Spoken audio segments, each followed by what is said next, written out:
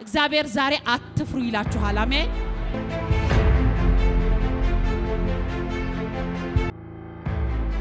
ፈጽሞ ደግሞ አትታወኩ ይላችኋል።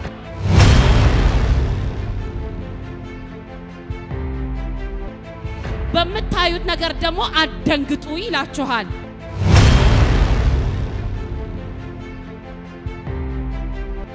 ጠላቶቻችን የትኛውም የራሳቸውን ነገር አስተካክለው እንድንፈራ የትኛውን ወጥመድ አዘጋጅተው የትኛውም ተራራ በፊታችን ቢገነቡ እግዚአብሔር እንዲህ ይላል፣ አንተ ተራራ አንተ ተራራ በዝሩባቤል ፊት በልጄ ፊት ደልዳላ ሜዳ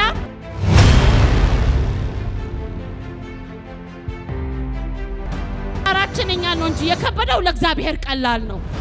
አትፍራ ያለው እግዚአብሔር ራሱን ታምኖ እንጂ ሁኔታዎችን አይቶ አይደለም። ምክንያቱም በራሱ የታመነ የነገስታቱ ንጉሥ በፊታችሁ የቆመው የትኛውም አስጨነቃችሁ ነገር፣ የትኛውም የከበባችሁ ነገር፣ ወየው ሰጠምኩበት ያላችሁት ነገር ሁሉ ላይ ማውጣት እንደሚችል ስለሚያውቅ ነው። ወንድሜ የትኛው ተራራ ነው የከበደ? እህቴ የትኛው ተራራ ነው አላስኬድ ያለሽ? የትኛው ተራራ ነው ትዳርሽን እየበጠበጠ ያለው? የትኛው ተራራ ነው ልጆችሽን ዝም ብሎ የሚያዞረው? ዛሬ በጌታ በኢየሱስ ስም መፍረስ ይጀምራል።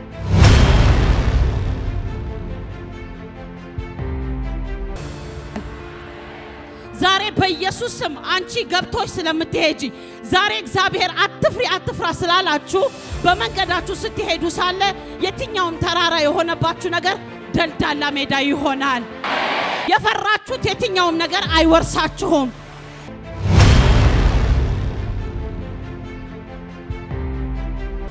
ነገሮቻችሁ ላይ አጥብቆ አይቻልም አይሆንም ብሎ የተዘጋጀ መሳሪያ በኢየሱስ ስም አይከናወንም።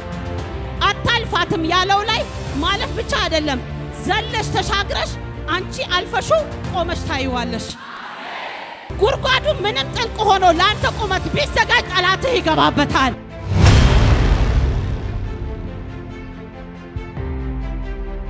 መስቀያው ለአንተ ቁመት ተደርጎ የተዘጋጀው ጠላትህ ይሰቀልበታል።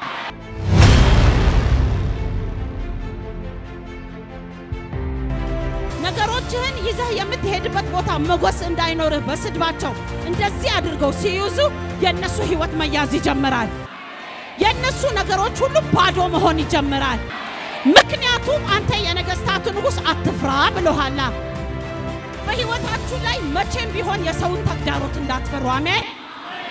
እልፍ መላእኮች በአንቺ ዙሪያ አሉ። በቀኝሽ አንድ ሺህ በግራሽ አስር ሺህ ይወድቃሉ። ጠላቶችሽ ምንም ያክል ተሰባስበው ቢጠብቁሽ አንቺ በቀኝሽ አንድ ሺህ በግራሽ አስር ሺህ ይወድቃሉ። ፈጽመው ወደ አንቺ መጠጋት አይችሉም። ሰልፉ የእግዚአብሔር ነው።